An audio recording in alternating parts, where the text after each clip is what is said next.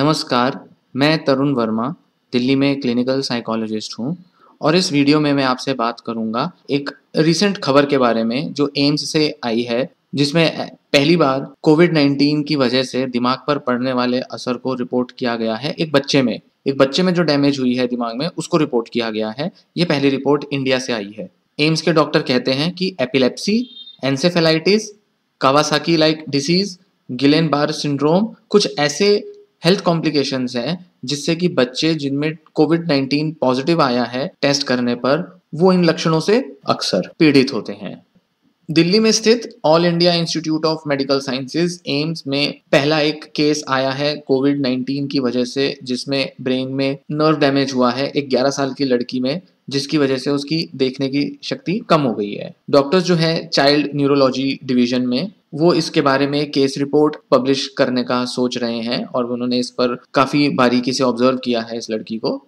उन्होंने कहा है कि कोविड 19 इन्फेक्शन की वजह से acute demyelinating syndrome ADS देखने में आया है 11 साल की लड़की में। यह पहला केस है जिसको पीडियाट्रिक बच्चों के एज ग्रुप में रिपोर्ट किया जा रहा है। वे कहते हैं कि हमारे जो नर्व्स होती हैं न्यूरॉन्स होते हैं, उनके ऊपर एक प्रोटेक्टिव लेयर होती है, जिसे माइलिन कहते हैं, जो ब्रेन में मैसेजेस को पहुँचाने का काम करते हैं, उसमें हेल्प करते हैं और उसको स्मूथली एक जगह से दूसरी जगह मैसेज पहुँचाने में मददगार साबित होते हैं। एडीएस जो है एक्यूट डीमाइलिनेटिंग सिंड्रोम एक ऐसी हेल्थ कंडीशन होती है जिसमें माइलिन जो है वो डैमेज हो जाती है, जिसकी वजह से ब्रेन के जो सिग्नल्स हैं वो ठीक से जा नहीं पाते ब्रेन के सेल्स ठीक से काम नहीं कर पाते और इसके अलावा बहुत सारे जो न्यूरोलॉजिकल फ़ंक्शंस हैं, इस पर प्रभाव पड़ता है, इस डैमेज का, जिसमें विजन देखने की शक्ति मसल्स का मूवमेंट मांसपेशियों में कमज़ोरी और हमारे जो सेंसेस हैं, जैसे कि महसूस करना, खाना टेस्ट करना सूंघना इनकी क्षमता में कमी आ जाती है और हमारा जो ब्लैडर और बॉवल मूवमेंट है, उनमें अक्सर डिस्टर्बेंस पाई जाती है। ये जो लड़की है, वे बताते हैं कि इसमें लॉस ऑफ़ विजन हुआ था, हमें ऐसा देखने में आया। एमआरआई ने ऐसा बताया कि उसको एडीएस हुआ है, जो कि एक नया मैनिफेस्टेशन है जो बच्चों में देखने में आया है। अब हम इससे ये कह सकते हैं कि जो कोरोना वायरस है, वो लंग्स के साथ साथ ब्रेन को भी बहुत ज़्यादा इफ़ेक्ट करता है। हम इस केस रिपोर्ट को वो कह रहे हैं कि हम पब्लिश करने का सोच रहे हैं, जिसमें हमने कोविड 19 की वजह से ब्रेन पर बच्चों में पड़ने वाले असर को देखा है। वहाँ की एक चाइल्ड न्यूरोलॉजी डिवीज़न की डॉक्टर है शेफाली गुलाटी पीडियाट्रिक्स डिपार्टमेंट में काम करती हैं, उन्होंने ऐसा कहा है। लड़की का जो ट्रीटमेंट है वो डॉक्टर गुलाटी की ही देखरेख में चल रहा था। उसकी जो कंडीशन है लड़की की वो इम्प्रूव हो गई इम्यूनोथेरेपी की मदद से और उसको डिस्चार्ज कर दिया गया हॉस्पिटल से, जब उसकी 50 प्रतिशत विजन कम से कम वापस आ चुकी थी।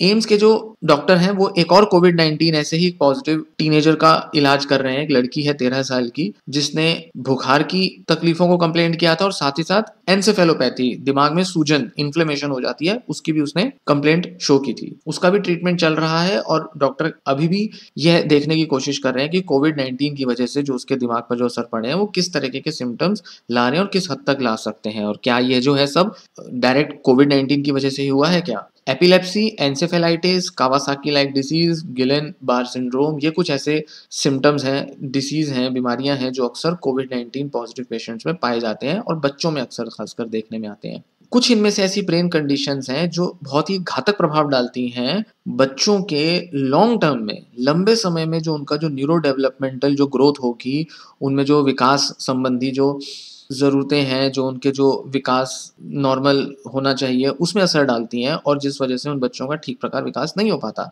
इस वजह से इन बच्चों को लगातार फॉलो अप ट्रीटमेंट की ज़रूरत होती है, जो कि एक बहुत बड़ा चैलेंज हो सकता है इंडिया जैसी जगह पर। क्योंकि लोग दूर दूर से ट्रैवल करके एम्स जैसे हॉस्पिटल आते हैं, वहाँ पर अपना चेकअप कराते हैं और बार बार उनको फॉलोअप करा पाना रेगुलर लेवल पर उनके लिए बहुत डिफ़िकल्ट हो जाता है। पीडियाट्रिक न्यूरोलॉजी जर्नल में एक रिव्यू पब्लिश हुआ था डॉक्टर गुलाटी बता रही हैं कि जिसमें जो पीडियाट्रिक न्यूरोलॉजिस्ट हैं, उनको जो परेशानियाँ फेस करनी पड़ती हैं, उसके बारे में बताया था किसी डेवलपिंग कंट्री में।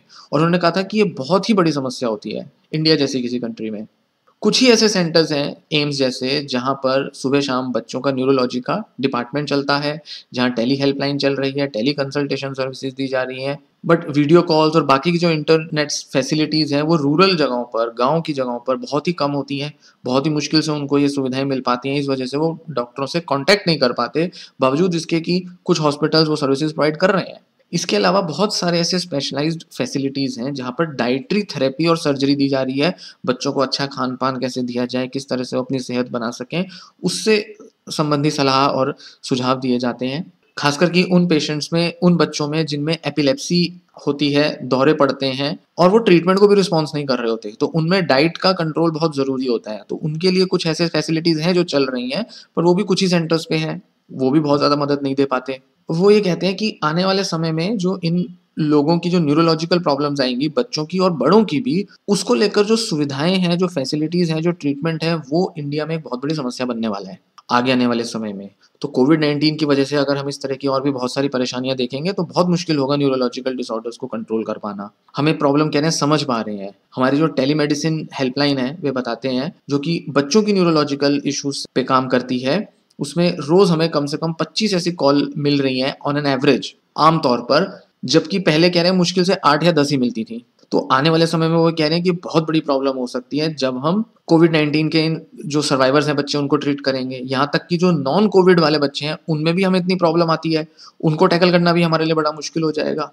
जिनमें न्यूरोलॉजिकल कंडीशन है, जिनको की बहुत ज़्यादा इमीजिएट अटेंशन की ज़रूरत होती है, बहुत ध्यान देने की ज़रूरत होती है। तो हमारे जो हेल्थ केयर वर्कर्स हैं, वो ये बताते हैं कि वो चौबीसों घंटे काम करने में बिज़ी हैं, लगे हुए हैं। उनको ट्रेनिंग भी दी जा रही है कि किस तरीके से बच्चों में इस तरीके के न्यूरो डेवलपमेंटल इश्यूज़ है, उनको पहचान की जाए, उसका इलाज किया जाए। और टेली कंसल्टेशन के through tele medicine tele counselling के थ्रू ज़्यादा से ज़्यादा लोगों को अप्रोच किया जाए, उन तक पहुँचा जाए, ताकि एटलीस्ट उनकी प्रॉब्लम्स समझ में तो आ जाए, दिख तो जाए आइडेंटिफाई तो हो जाए, उनको सुन तो लिया जाए एटलीस्ट वो कह रहे हैं कि अभी हमारे को नहीं पता कि कितना एक्सटेंट है इस प्रॉब्लम का, कितनी गंभीर है प्रॉब्लम इसलिए हम ये भी नहीं जान सकते कि कितना पैसा इसमें खर्च किया जाना चाहिए, कितना फंड सरकार से लिया जाना चाहिए। पर हाँ इस पर सोचने जैसा ज़रूर है, इस पर और ज़्यादा ध्यान देने की, और ज़्यादा विचार करने की ज़रूरत बहुत है, इस पर और ज़्यादा स्टडीज़ पब्लिश होने की केस रिपोर्ट्स आने की ज़रूरत बहुत ज़्यादा है। यह वीडियो यहीं समाप्त होता है। उम्मीद है आपको यह जानकारी पसंद आई होगी, आपको हेल्प करेगी। धन्यवाद।